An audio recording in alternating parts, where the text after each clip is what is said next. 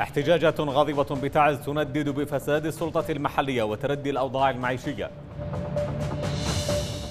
إصابة طفل بقصف ميليشيا الحوثي منزل شيخ قبلي بمأرب. والبرلمان يطالب من الحكومة التوضيح حول إنشاء الإمارات قاعدة عسكرية في جزيرة ميون.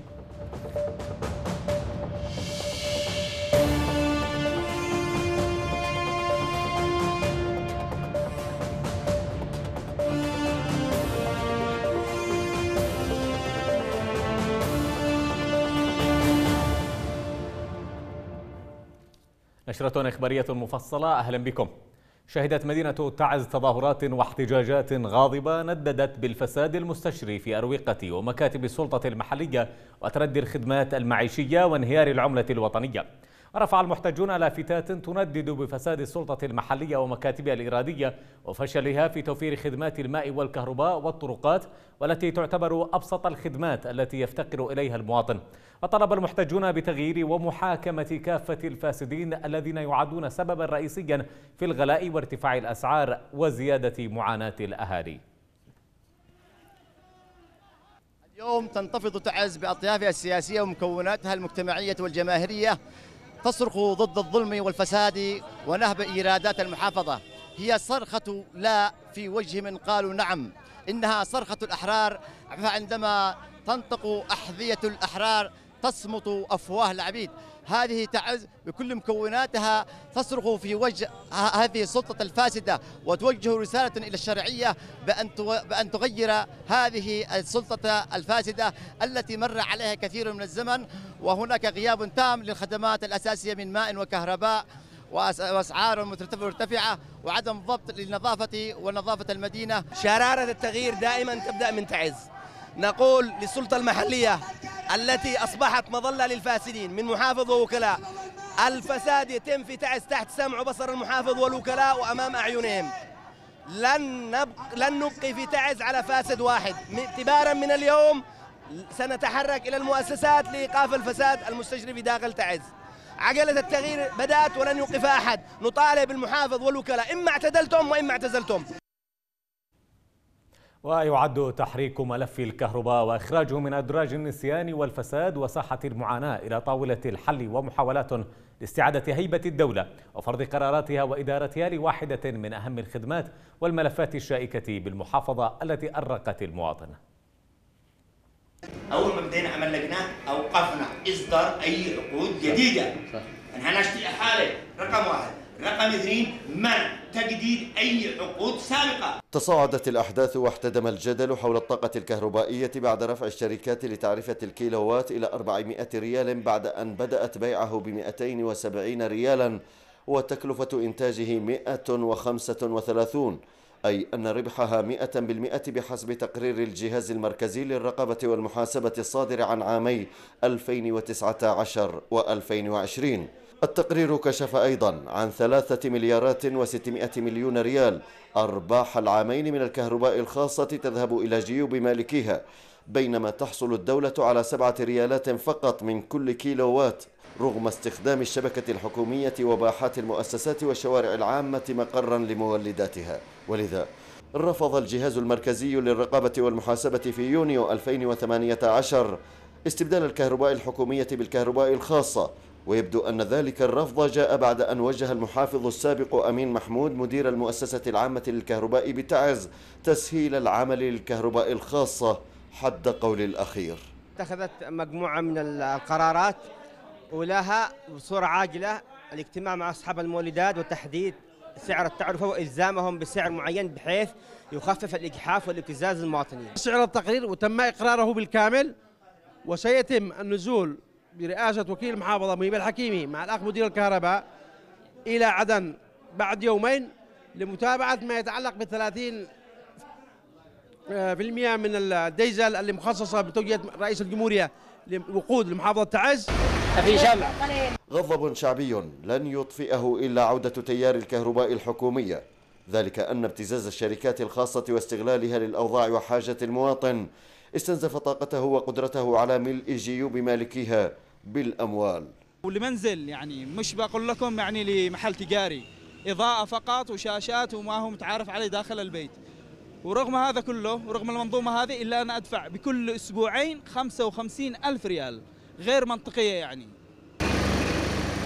تقاسمت 11 شركة تعمل في توليد الطاقة المدينة والمنازل وأموال السكان فأصبح المواطن سلعة في يد هؤلاء لا سيما بعد إضرابهم وقطع التيار الكهربائي لقرابة عشر ساعات منذ أعلنت السلطة المحلية احتجازهم في مبنى المحافظة المؤقت عقب رفضهم قرارات خفض التعرفة في اجتماعها الأخير. ولصفتنا كمتقدمي مقدمي خدمة المواطن. حضرنا يومنا هذا الثلاثاء 25 5 2021 إلى مبنى المحافظة وطرحنا لهم جميع ما سلف وطرحوا دراسة مقدمة من مدير عام كهرباء تعز المهندس عارف عبد الحميد. خلاصة تحديد سعر الكيلو واط ب 280 ريال. فردينا بأن طلبنا منهم أن يقوم مدير الكهرباء باستلام المولدات وتنفيذ الدراسة بالواقع وبمحطاتنا. ومقابل مبلغ رمزي لنا كمستثمرين 50 ريال يمني فقط للكيلو لكنهم رفض ما طرحوه الظلام شوارع المدينة فعاش السكان في ظلام دامس ووصل المرضى إلى حالة من الخطر في أسرة العناية المركزة في المستشفيات. إذا هي المشكلة للحل. هكذا بدت شركات توليد الطاقة التجارية مع أول أزمة بينها وبين المواطن والسلطة المحلية لتؤكد بذلك ضرورة عودة الكهرباء الحكومية وإصلاح أخطاء السلطات التي بدأت بيع مهامها للمستثمرين مقابل الفتات. عبد العزيز الذبحاني يمن شباب تعز. وفي عدن خرج عشرات المحتجين في تظاهرة منددة بتردي الخدمات والمطالبة بتحسين الأوضاع المعيشية. رفع المتظاهرون في المسيرة التي خرجت في مديرية المنصورة لافتات تطالب بتزويد منازلهم بالكهرباء والمياه وتطبيق إجراءات من شأنها تحسين قيمة العملة المحلية والالتزام بدفع الرواتب الشهرية للمتقاعدين وجميع المرافق الحكومية. استهدفت ميليشيات الحوثي الإرهابية بصاروخ باليستي منزل شيخ قبلي في مأرب مما أدى إلى إصابة طفل. وقالت مصادر محلية بأن الميليشيات الإرهابية قصفت منزل الشيخ علي بن حسن بن غريب الشبواني ما أسفر عن إصابة طفل. وأضافت المصادر بأن الصاروخ الحوثي سقط في فناء المنزل وأحدث انفجارا هائلا هز المنازل المجاورة. وذكرت المصادر أن منزل الشيخ غريب يتوسط عددا من المنازل في قرية آل غريب الآهلة بالسكان. وقال وكيل محافظة مأرب الشيخ مبارك علي حسن غريب أن الميليشيات الحوثية استهدفت منزل الشيخ علي بن حسن غريب عدة مرات مؤكدا بأن هذا السلوك الإجرامي للميليشيات الحوثية يأتي ردا على خسائرها في جبهات القتال. شن الجيش الوطني قصفا مدفعيا استهدف تجمعات حوثية في الأطراف الغربية لمحافظة مأرب. وقال مصدر عسكري اليمن شباب إن القصف المدفعي استهدف مجاميع للميليشيا الحوثية كانت تحاول التسلل إلى مواقع في جبهة الكسارة. مضيفا أن القصف أسفر عن وقوع قتلى وجرحى بين العناصر المتسللة وسط فرار لآخرين. في جبهة العبدية بالأطراف الجنوبية الغربية للمحافظة قتل وجرح عدد من العناصر الحوثية في هجمات للجيش استهدفت تجمعا للميليشيا في الجبهة ذاتها. قالت مصادر عسكرية إن عشرات الإرهابيين الحوثيين سقطوا بين قتيل وجريح في غارة جوية استهدفت تعزيزات للميليشيا غربية مأرب. المصادر ذكرت أن عددا من الدوريات التابعة للحوثيين تحمل تعزيزات وذخائر دمرت في قصف جوي للتحالف العربي في مديرية سرواح. وأشارت المصادر إلى أن تعزيزات ميليشيا الحوثي كانت في طريقها إلى جبهتي المشجح والكسارة وكانت قادمة من صنعاء وذمار. أسقطت القوات المشتركة طائرة مسيرة تابعة لميليشيا الحوثي الإرهابية جنوبي الحديدة. بحسب مصادر ميدانية فإن القوات المشتركة رصدت تحريق طائرة مسيرة تابعة للميليشيا في سماء مديرية الدريهمي وتمكنت من إسقاطها على الفور. وخلال الفترة الماضية كثفت ميليشيا الحوثي من استخدام الطائرات المسيرة والاستطلاعية في مختلف مناطق الحديدة وكان من ضمنها استهداف سوق شعبي في السادس عشر من مايو بذات المديرية بطائرة مسيرة أسفرت عن استشهاد مدني وإصابة خمسة آخرين بجروح. طلب البرلمان اليمني من الحكومة توضيحا بشأن إنشاء الإمارات قاعدة جوية في جزيرة ميون. رفع رئيس البرلمان سلطان البركاني مذكرة رسمية للحكومة طلب فيها توضيحا كتابيا حول المعلومات التي تتحدث عن إنشاء الإمارات لقاعدة جوية في الجزيرة دون علم الدولة الشرعية. وأمهل مجلس النواب اليمني الحكومة في البلاد أسبوعا واحدا للإفادة عن صحة المعلومات التي تشير إلى شروع دولة الإمارات في إنشاء قاعدة عسكرية في جزيرة ميون اليمنية بالقرب من باب المندب. وفي ذات السياق كشفت وكالة أنباء دولية عن قيام الإمارات بتشييد قاعدة جوية سرية في جزيرة ميون الاستراتيجية بباب المندب في اليمن. المزيد في التقرير التالي. في خطوة وصفت بانتهاك السيادة اليمنية وعسكرة باب المندب. كشفت وكالة أسوشيتد بريس الأمريكية أن صور الأقمار الصناعية كشفت عن بناء الإمارات لقاعدة جوية على جزيرة ميون الواقعة في وسط المضيق البحري الذي يمر منه ربع التجارة الدولية عبر البحار. وفيما كان مدير مكتب الرئاسة اليمنية الدكتور عبد الله العليمي قد قال في لقاء إعلامي هذا الشهر أن الرئاسة اليمنية لم تبلغ ببناء الإمارات قاعدة جوية وعسكرية في ميون. رفع النائبان علي المعمري وعلي عشال سؤالا لرئيس الوزراء عن حقيقة بناء الإمارات للقاعدة الجوية في مضيق باب المندب دون علم الحكومة اليمنية. فيما قالت وكالة أسوشيتد بريس الأمريكية أن من بين أسباب الخلاف بين الرئيس هادي والإمارات هو رفضه تأجير الجزيرة إلى الإمارات لمدة عشرين عاما. وعلى الرغم من إعلان الإمارات الرسمي أنها سحبت قواتها من اليمن قال عضو الكونغرس الأمريكي كريس إن الكشف عن بناء الإمارات لقاعدة جوية وعسكرية في جزيرة ميون. دليل آخر على أن الإمارات لم تغادر اليمن. وبثت الوكالة الأمريكية صورا للأقمار الصناعية من شركة بلانيت لابز تظهر شاحنات تفريغ وممهدات بناء مدرج بطول 2 كيلومتر على الجزيرة في الحادي عشر من أبريل الماضي.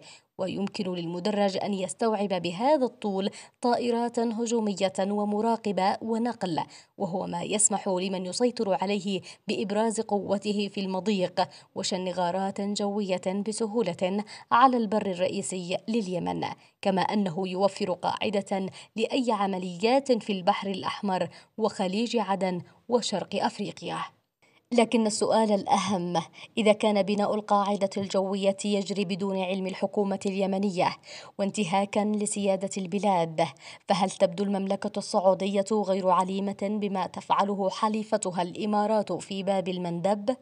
بحسب شهود عيان فإن ضباطا سعوديين شوهدوا في الجزيرة إلى جانب ضابط الارتباط الإماراتي والقوات اليمنية المدعومة من الإمارات في الساحل الغربي وإن كان الأمر يجري بإعاز من السعودية فلماذا تفعل السعودية ذلك في السر وبدون موافقة الحكومة الشرعية؟ أم أن هناك تفاهمات سرية غير معلنة بات من الضرورة أن يطلع عليها الشعب اليمني فهي تخص أرضه وسيادته. أخيرا أعلنت وزارة الصحة تطعيم أكثر من 53 ألف مواطن يمني ضد فيروس كورونا حتى الخامس والعشرين من مايو الجاري. وقال وكيل وزارة الصحة لقطاع الصحة الأولية الدكتور علي الوليدي في بيان إنه جرى تطعيم 53587 وحتى الخامس والعشرين من مايو الجاري بينهم 10261 من الكوادر الصحية و10851 من كبار السن لما فوق الستين عاما. فيما تم تطعيم 32495 شخصا من الفئات الأخرى.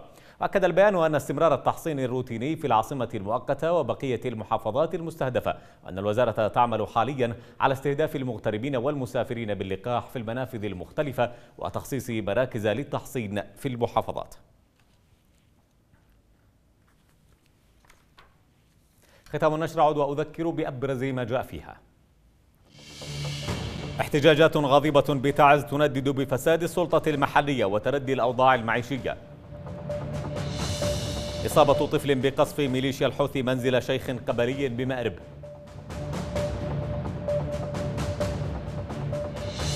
والبرلمان يطلب من الحكومة التوضيح حول إنشاء الإمارات قاعدة عسكرية في جزيرة ميون.